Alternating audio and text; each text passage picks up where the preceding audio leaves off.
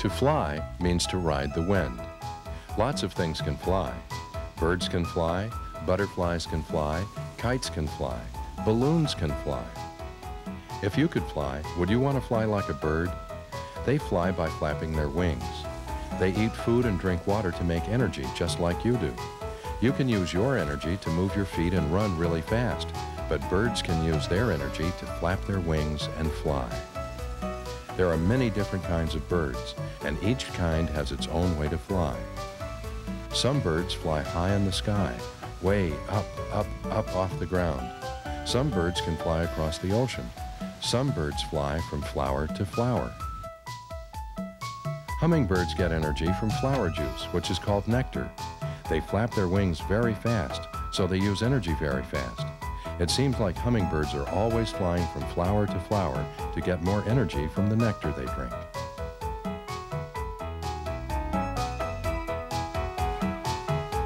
Birds are born inside eggs. The mother lays her eggs in a nest. The baby bird grows inside the egg and then cracks the eggshell and comes out. When the baby bird comes out of the egg, it's called hatching. After the baby bird comes out of the egg, it lives safely in the nest the mother bird has made. The mother brings food to the baby for it to eat. Birds like to eat things like worms and seeds. When the baby bird is grown up, it flies out of the nest and finds its own food. It's fun to watch birds fly.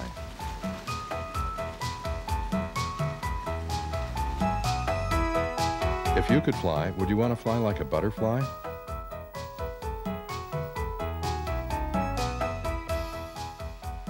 Some insects can fly.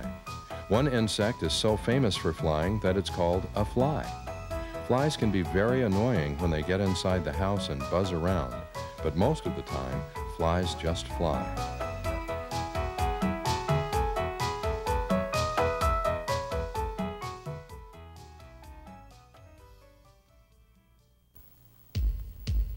Like flies, butterflies are insects.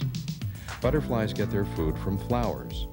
Different kinds of butterflies like different kinds of flowers, so a place that has many kinds of flowers attracts many kinds of butterflies. Most people like to watch butterflies because butterflies are very beautiful. They're very colorful, and their colors take many different shapes. The shapes and colors on a butterfly are called markings. You can tell what kind of butterfly it is by its markings. Butterflies are born inside cocoons. The mother butterfly lays her egg on a leaf or a twig. The baby butterfly grows up inside a cocoon. When the baby butterfly comes out of the cocoon, it searches for the kind of flower that it likes best. So butterflies can fly, and birds can fly, and flies can fly. But they're not the only things that can fly. How many things that can fly can you think of?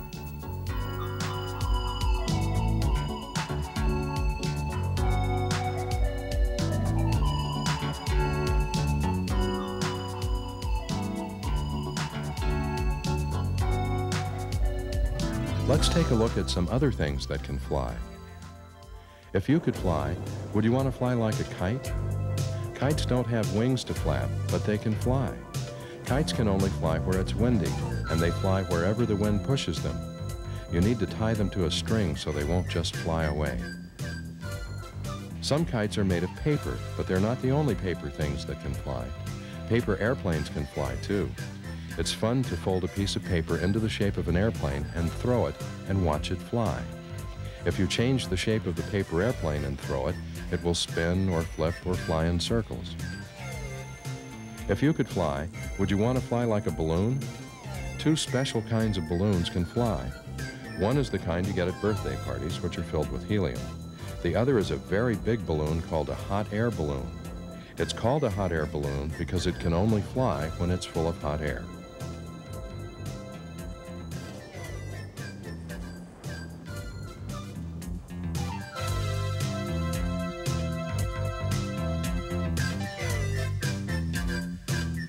If there is a basket tied to a hot air balloon, people can ride in it.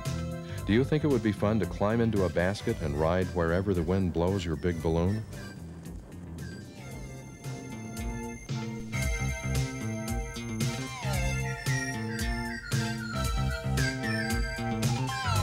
Butterflies and balloons are things that can fly that start with the letter B, and so are baseballs. When a batter hits a baseball into the sky, it's called a fly ball. It's fun to hit or throw a baseball way up in the air and catch it when it comes down.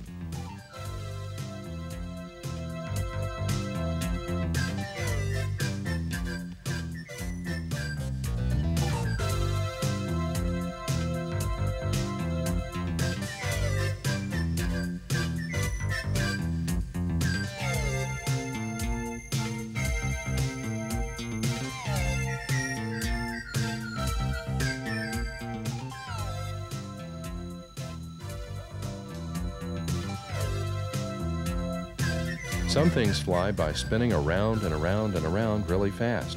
They're usually made of plastic so they won't break when they hit the ground. If you practice throwing them, you can make them fly where you want them to fly.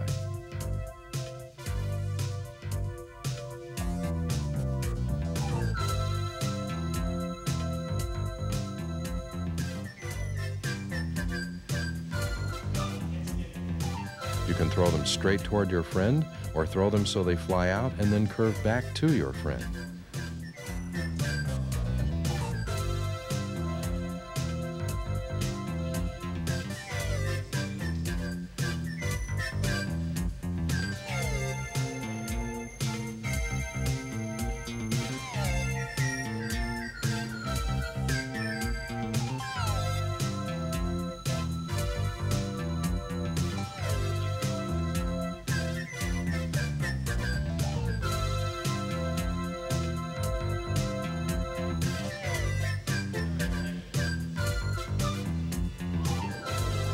Since kites can only fly where the wind pushes them, they need a big place in which to fly, a place away from houses and power lines and trees. If it's windy at the park or playground, you can fly kites there.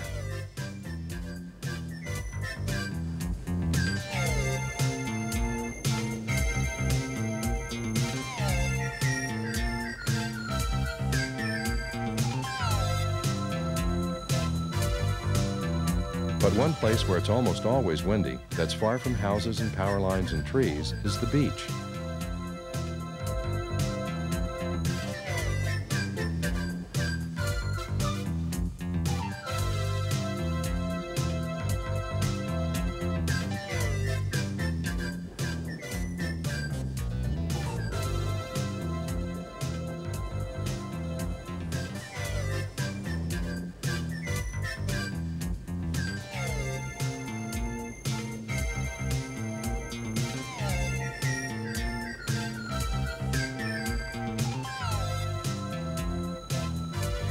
Take kites to the beach and watch them ride the wind out over the water and back over the land.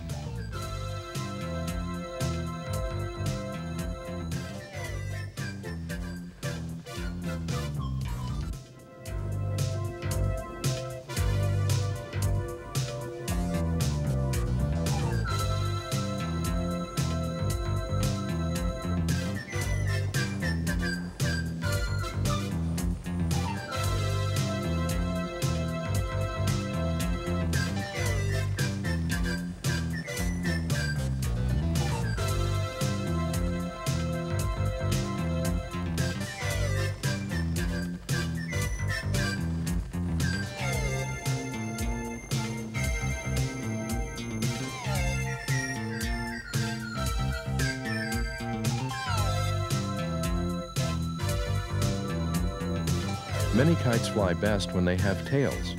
Some kites can be steered as they ride the wind, so you can make them fly back and forth, or around and around in loops. Kites come in all shapes, sizes, and colors. You can even make your own kite. Balloons are very colorful and very beautiful to watch.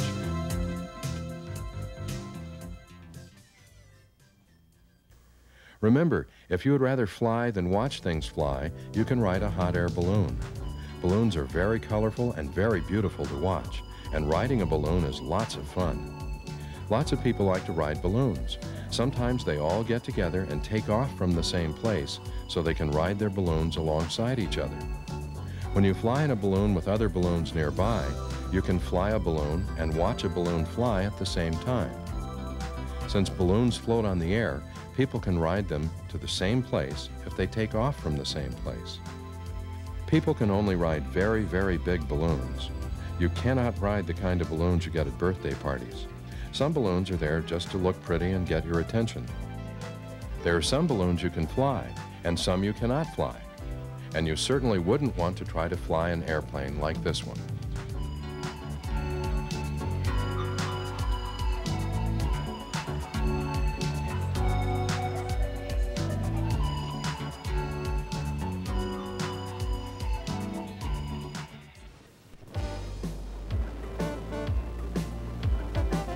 Of the most exciting ways that people can fly is with a parachute.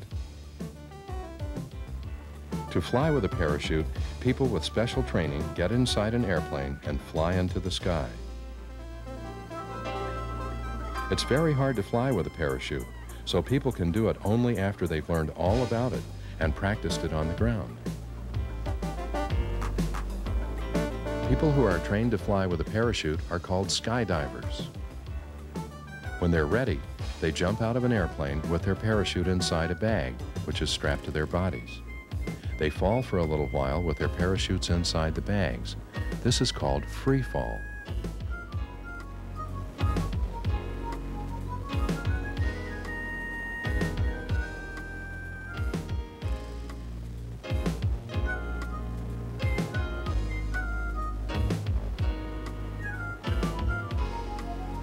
They get close to the ground, they pull a string which opens the bag so their parachute can come out. The parachute slows them down so they won't get hurt as they ride to the ground.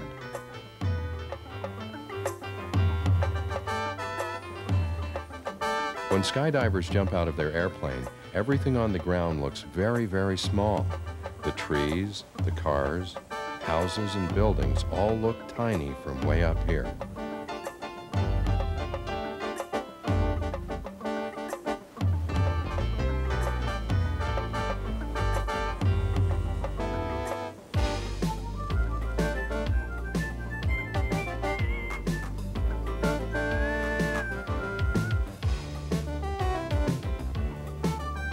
As they fly thousands of feet above the ground, the skydiver looks for familiar landmarks so he'll know where to land.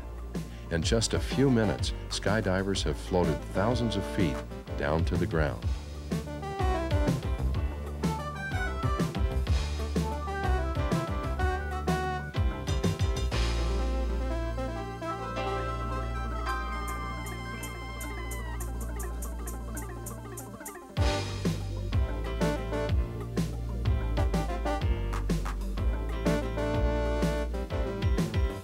Skydive or jump out of an airplane with a parachute takes many hours of study and practice. You have to learn about wind and how it affects your parachute. You have to practice keeping your body in the right position so things will happen the way they're supposed to happen.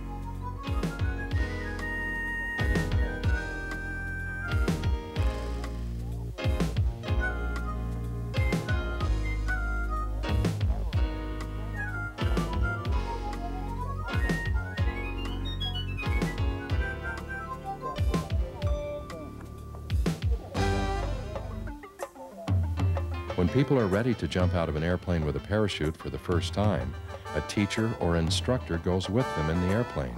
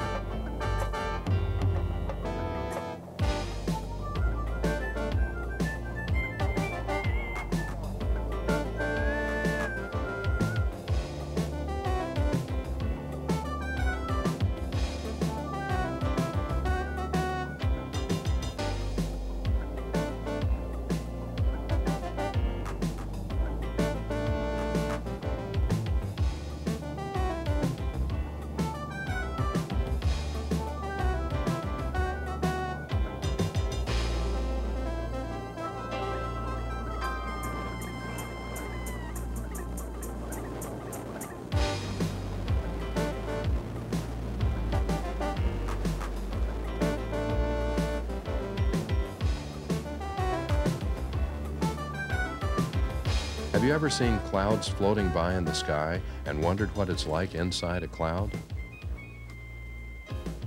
Skydiving is one of the few ways you can actually fly straight through a cloud.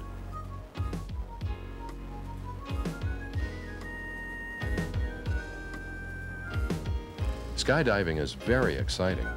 Have you ever ridden a roller coaster and been excited and nervous at the same time? If you're brave enough to ride a roller coaster, you're probably brave enough to skydive, and you'll probably be a little nervous and very excited.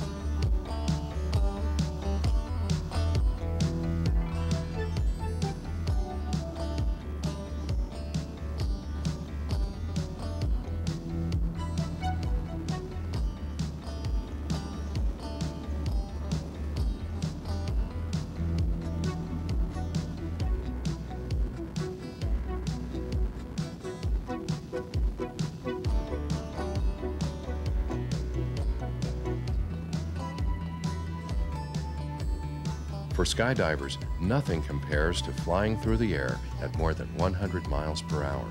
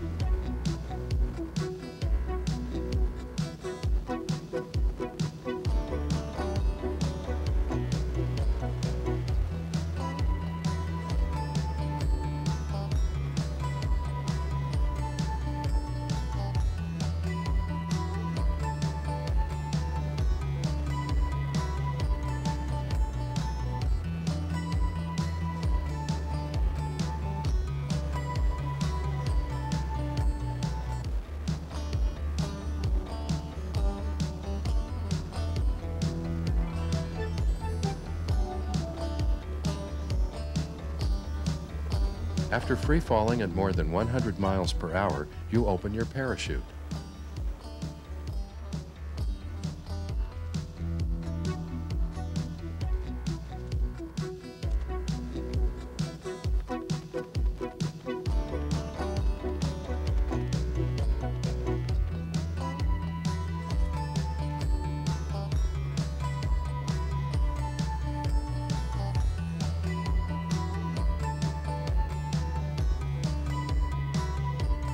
And from then until you reach the ground is a slower and smoother flight. You start to really see what birds see as they fly above the ground, watching what goes on below. And just as a bird may land in your backyard, we see how skydivers glide gracefully to the ground.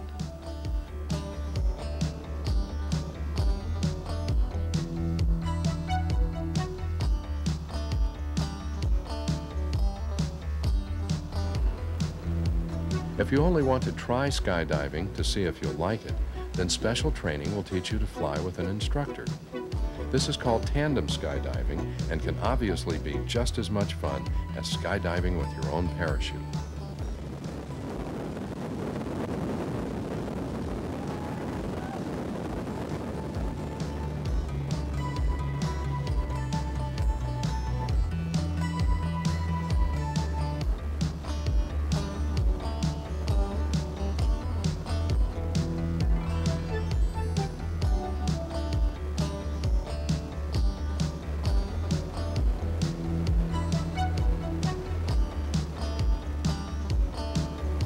Some skydivers are so good that they perform tricks with other skydivers as part of skydiving demonstration teams.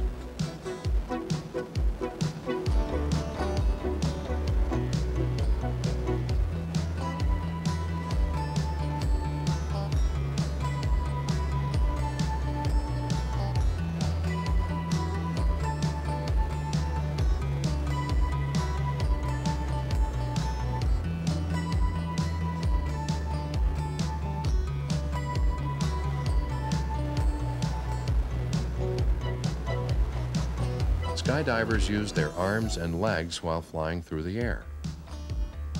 So how did we get these pictures if nobody could hold a camera? One of the skydivers has a very special helmet which can hold a camera, similar to the one you might have at home. This allows you and me to see what skydivers see.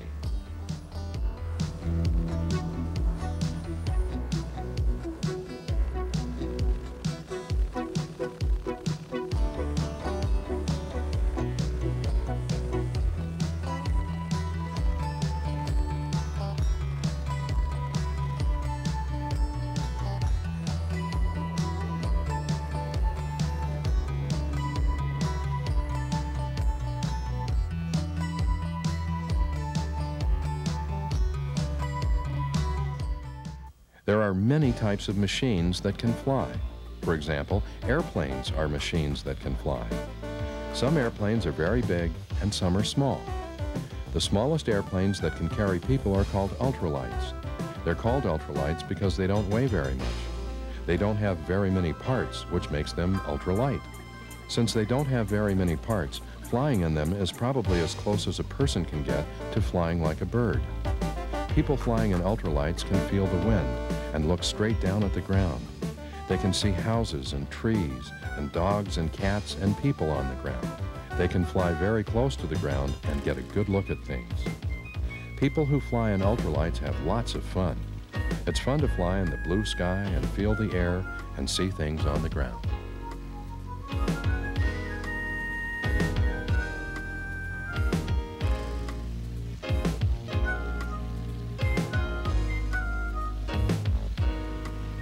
Sometimes people fly in airplanes just for the fun of it, and sometimes people in airplanes are doing different kinds of work. Some people fly in airplanes that tow big banners so lots of people can see them. The banners have special messages on them.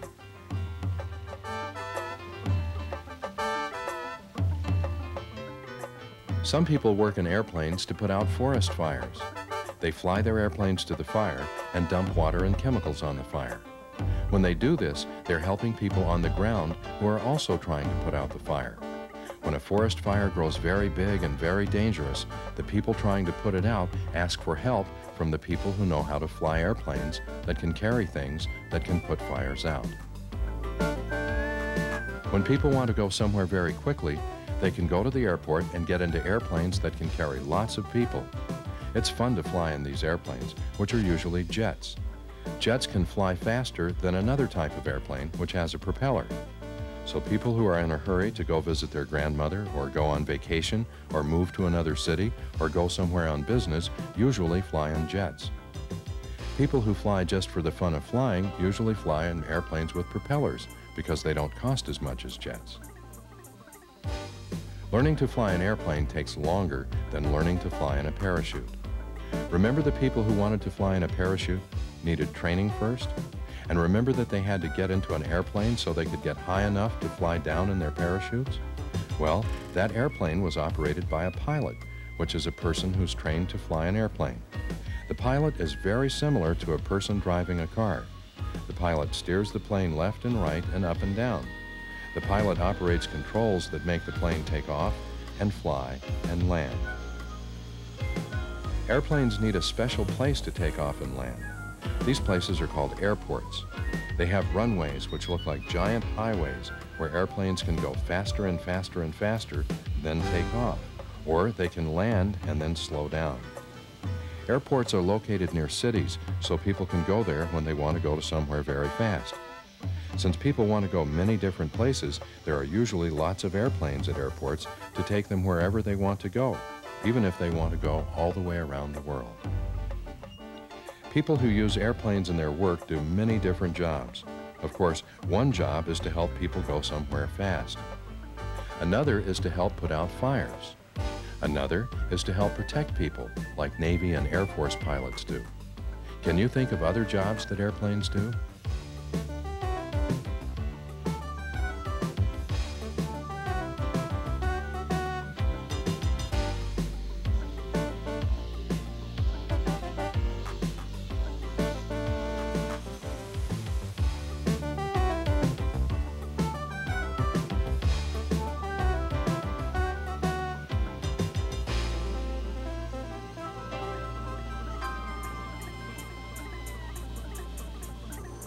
Another type of flying machine is called a helicopter. Helicopters have a giant propeller on top that pushes down on the air to lift the helicopter off the ground. Unlike airplanes, helicopters do not need runways to take off and land. Helicopters can take off straight up and can land by coming straight down. They're used to fly somewhere that does not have an airport. And since helicopters can stand still in the air, they are used for some very special jobs. Most helicopters are used by people at work. People who need to help someone who is sick or hurt usually fly in helicopters. When television stations want to show pictures of something from the air, the people who work for the television station fly in helicopters. If you had a helicopter, what job would you use it for? Machines that can fly can be used for many things. They can be used to help people, and they can be used just for the fun of it. Whether at work or play, people can have fun in flight.